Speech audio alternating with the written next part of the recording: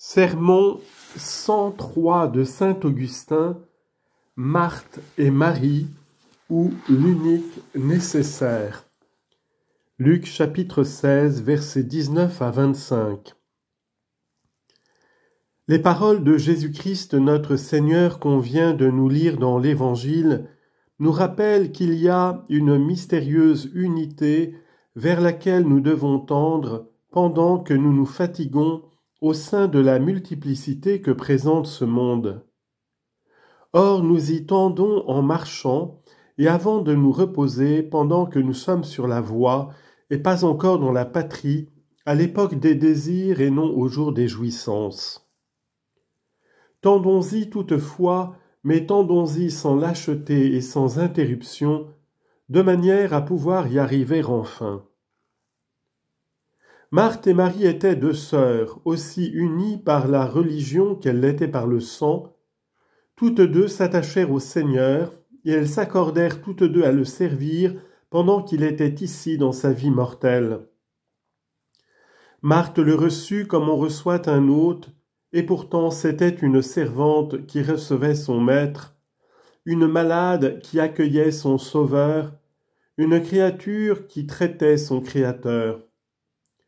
Elle le recevait pour nourrir son corps, mais aussi pour être nourrie elle-même dans son âme.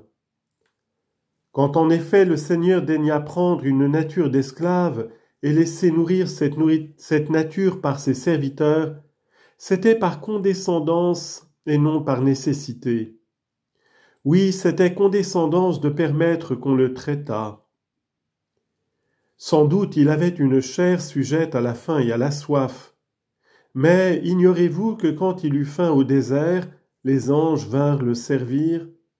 Matthieu 4, 11. En acceptant ce qu'on lui donnait, il faisait donc une grâce.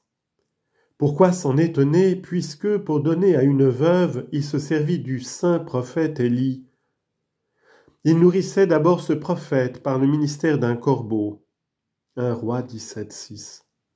Ne pouvait-il plus employer ce moyen quand il l'envoya vers la veuve? Assurément, il pouvait l'employer encore lorsqu'il l'envoya vers elle. Mais il voulait que le service rendu à son serviteur fût pour cette pieuse veuve une source de bénédiction. Ainsi en était-il du Sauveur lorsqu'il recevait l'hospitalité. Il est venu chez lui et les siens ne l'ont pas reçu, mais à tous ceux qui l'ont reçu, il a donné le pouvoir de devenir enfants de Dieu. Jean 1, 11. En les adoptant dans leur esclavage pour en faire ses frères, les rachetant de leur captivité pour en faire ses co-héritiers. Que nul toutefois ne vienne à dire parmi vous, Heureux ceux qui ont mérité d'accueillir le Christ dans leur propre demeure. Ne te plains pas, ne murmure, pas d'être né au temps où on ne voit plus le Sauveur dans son corps, car il ne l'a pas laissé d'être condescendant pour toi. Ce que vous avez fait à l'un de ces derniers d'entre mes frères, dit-il, c'est à moi que vous l'avez fait. Matthieu 24, 40.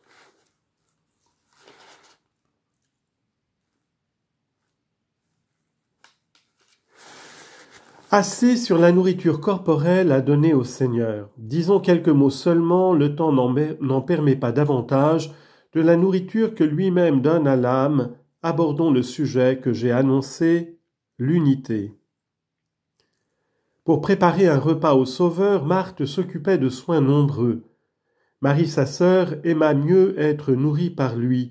Elle laissa donc Marthe aux occupations multipliées du service, et pour elle, elle s'assit aux pieds du Seigneur et écoutait tranquillement sa parole. Docile et fidèle, elle avait entendu ces mots Cessez et voyez que je suis le Seigneur. Psaume 45, verset 11.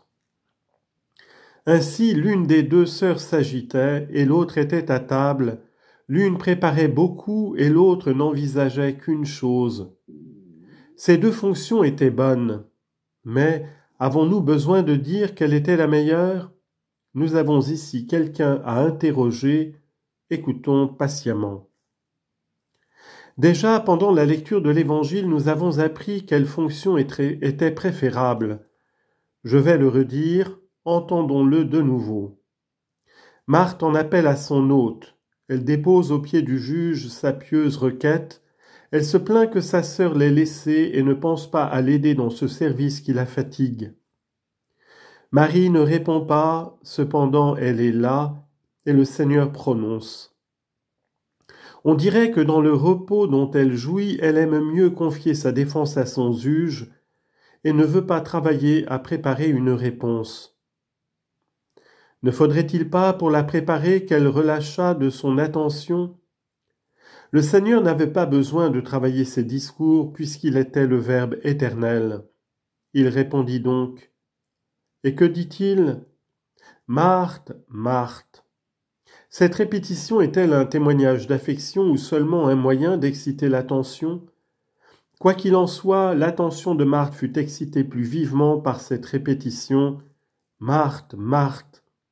Écoute, tu t'appliques à des soins nombreux, mais il n'y a qu'un besoin, c'est-à-dire qu'une seule chose nécessaire. Il n'entend pas qu'il ne faille absolument qu'une action, mais qu'il n'y a qu'une seule chose utile, avantageuse, nécessaire, c'est celle dont Marie a fait choix.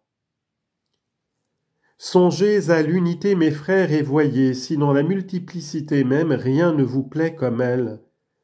Par la grâce de Dieu, je vous vois ici en grand nombre. Qui pourrait vous y souffrir si vous n'étiez unis de sentiments? D'où vient ce calme dans une telle multitude? Avec l'unité, c'est un peuple et sans elle une foule.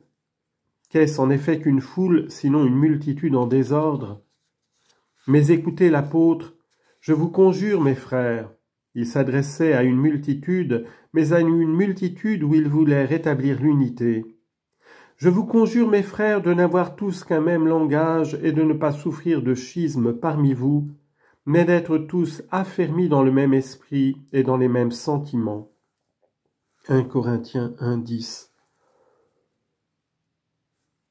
Ailleurs encore, il engage à vivre dans l'union des cœurs, dans les mêmes pensées, à ne rien faire par esprit de contention ni par vaine gloire. Philippiens 2, 2 à 3.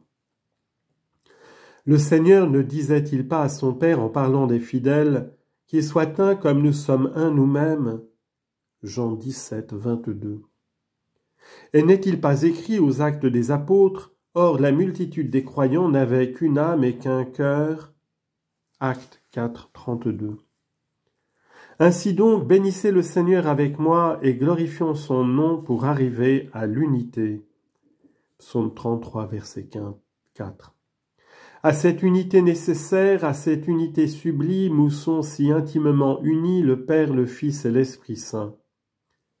Vous voyez comme tout nous recommande l'unité.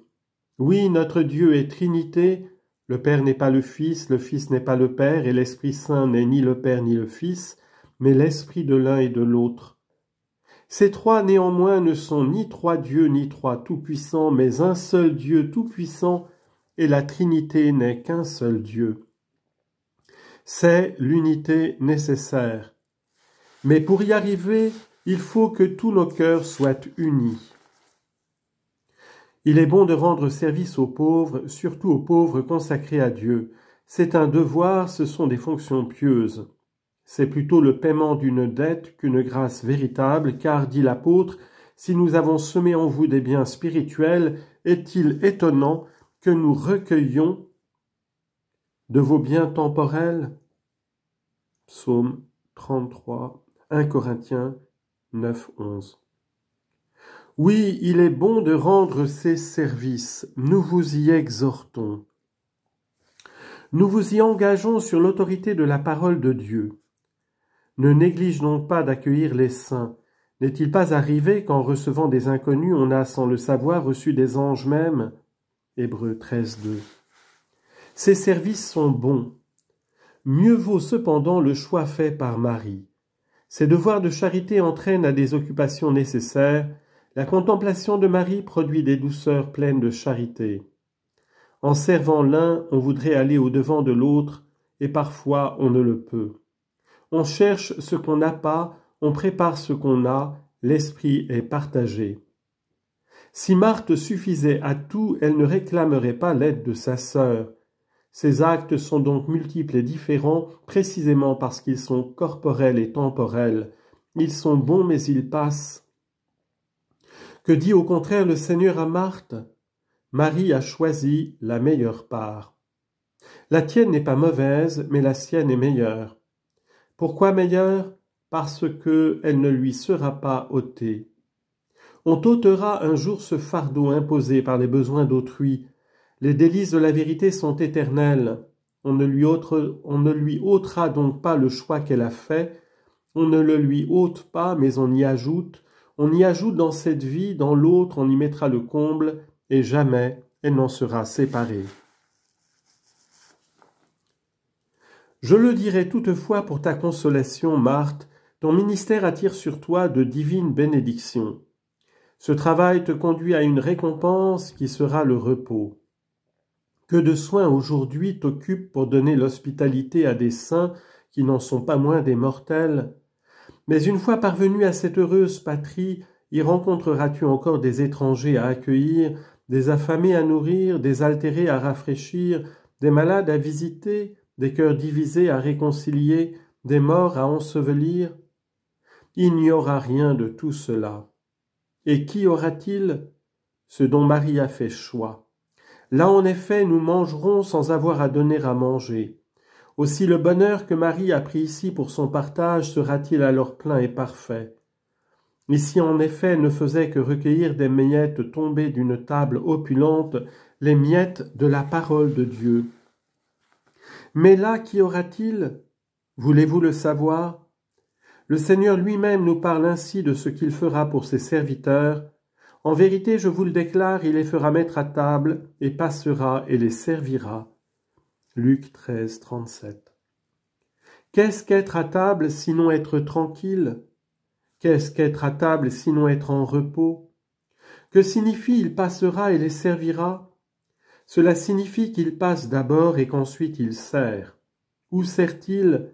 À ce banquet céleste dont il parle en ces termes, en vérité, je vous le déclare, beaucoup viendront de l'Orient et de l'Occident et se mettront à table avec Abraham, Isaac et Jacob dans le royaume des cieux.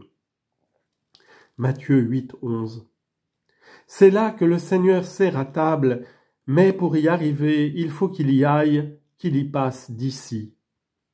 Ne savez-vous pas que Pâques signifie passage? Le Seigneur est venu parmi nous il y a fait des œuvres divines et enduré des souffrances humaines. Mais le voit-on conspirer encore, encore souffleté, encore couronné d'épines, encore flagellé, encore crucifié, percé encore d'une lance? Il a passé. Et voici ce que dit de lui l'Évangile quand il fit la Pâque avec ses disciples. Que dit-il alors? L'heure étant venue pour Jésus de passer de ce monde à son Père, Jean 13, 1. C'est ainsi qu'il a passé pour nous servir, pour être servi, suivons-le.